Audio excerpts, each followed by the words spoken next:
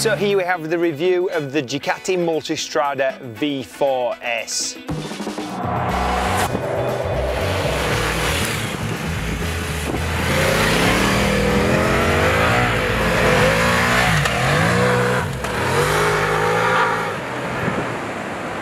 Now this motorcycle is completely new from Ducati. All starting really because it's using the V4 engine that was in the Panigale, has it been in the Streetfighter, super fast engine. Really, they just bored it out from an 81 to an 83 millimeter bore size and then just really focused on delivering an awesome, really tractable engine from the bottom to mid-range. They say between 60 and 90 miles per hour compared to the old engine, it's like 30% better. So a massive difference, loads of grunt, loads of bottom end. It's a really tractable motor. And that's where the fun is, tractable through the corners. If you're in sport mode, be ready to hold on because you've got a lot of power at tap.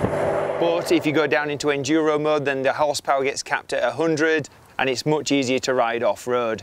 You've also got urban mode, you've got touring mode. With those modes, it also changes the suspension as well. It's all electronic, so you've got to get used to now doing everything here on the left handlebar.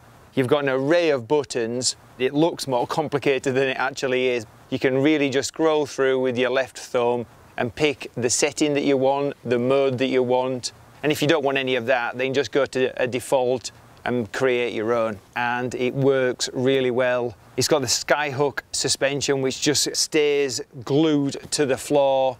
You've also got a self-leveling if you've got a passenger and some bags, or you can just flick through the settings and go from hardest right down to soft, depending on your preference in any mode. And you can really feel the difference as a rider. So when you go off-road, you can really play around to get your particular setting that you like because it's always different if you've got a passenger, it's always different if you've got bags, or depending on how heavy you are as a rider, or even how experienced you are as a rider, because an experienced rider might be hitting obstacles a little bit harder.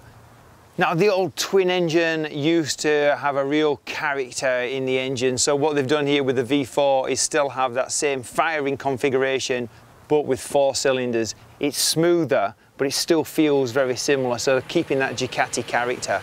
It has lost a little bit of sound with that Euro 5 emissions, but Akrapovic have done a great job with this silencer.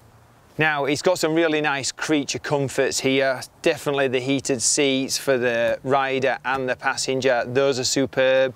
Awesome heated grips. But better than ever, in this model, they've really focused on trying to make it more comfortable for the rider. Because this is the Multistrada, it's their touring model, it's their flagship bike to be getting out and for doing multiple days in the saddle. They've really tried to make this bike really comfortable. So what you've got from the front now is a really comfortable riding position, very similar to the previous model with the upright handlebars and just easy to go from road to off-road. But you've also now got a fairing that just sends the wind straight over you so you don't have any annoying whistling noises around your head or pulling your head back. Really easy screen. You've just with one finger, you can just be moving the screen up and down so you can tailor that for weather conditions and also your own height as a rider. But the fairing, like I said, it's just sending all of the wind over you. Same with the side panels here. They're really just trying to make it so that the rider's comfortable. Also this engine that produces a lot of power isn't making the rider uncomfortable with heat either. So they've got a lot of scoops here to really take that heat away. Same with the radiators, these fins here, just taking that heat away and making it a more comfortable ride. I've been riding this a lot off-road. I know the Multistrada is an awesome on-road bike and this one is no different. It handles the road like glue. It's really confidence inspiring and even though it is a big bike, and it is a big bike, when you ride it, it actually doesn't feel that big. It's really controllable, it's pretty nimble, it does exactly what you want it to do when you want it to do it, and I love that feedback from a motorcycle. Precise, but the old model definitely had more weight on the front. And this bike, it's got a, from the old model was a 17. This is now a 19. They've also changed the size of the rear wheel as well, making it a little more narrow. So you've got a different wheel size and that now it's a lot more weight in the middle rather than it over the front. The old Multistrada used to really steer well. I used to love the way it handled through the canyons. But you take that off-road and then you've got to be a lot more careful with it because it had a smaller front wheel, and then it also had more weight over the front end so you had to be careful off-road. Also Ducati really are thinking about riders getting off-road so with the mirrors they've also got them moving further forward so when you get up and stand up on the pegs and your arms are higher you're not touching the mirrors either so just thinking ahead of what an adventure rider would want.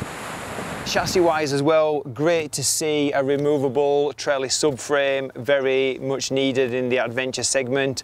Even though it's got a really big gas tank, it doesn't feel very big here, which is really needed close to the rider for when he stands up, gets on the pegs, that the gas tank isn't too big. So a nice slim gas tank, even though it's a big gas tank overall. Also very adventurous. We've got good crash bars. We've got the sump guard, much needed for off-road.